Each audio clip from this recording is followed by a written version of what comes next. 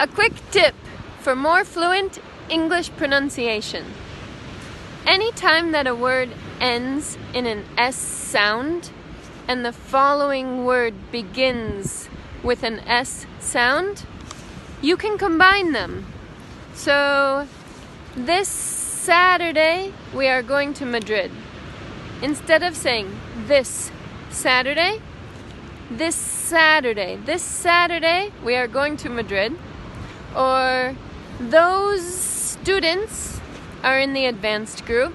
Those students. Or his socks are in the wash. His socks. okay, that's it. Bye.